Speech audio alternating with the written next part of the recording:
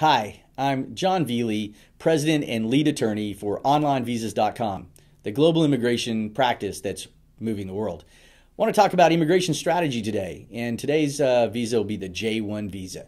The J1 is a fairly easy visa to get. Um, it's a little different than the others. Uh, works somewhat like a student visa in that a J issuing company will actually issue the form that then is taken to the consulate and it comes in. So there's sometimes uh, to work with the J uh, issuing company, you need to be interviewed or or some other programs come down because they're going to oversee this, not just immigration.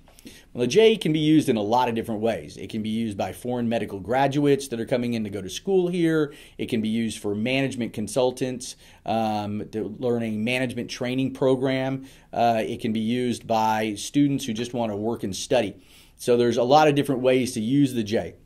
One of the ways that we do it a lot is develop management training programs for 18 months for individuals to come in and understand how the business works. Now, the goal is that they have to be going back to their home country after that to put this in place, but they can change that. Now, the J visa does have something that uh, has to be adhered to and, and looked out for, and that's the two year home residency requirement that applies to some countries and some training programs, but not all of them.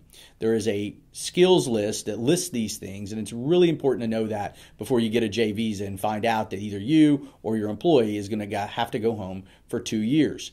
If you want to learn more about the J1 visa, check out onlinevisas.com or contact us for a free strategy session. We're glad to go over what tails a training program. We're glad to talk about whether you or your employee meet the qualifications for the J, which J it is, whether or not you're subject to the two year home residency requirement, or even help you get a waiver to the J1 uh, two year home residency requirement if that's so needed.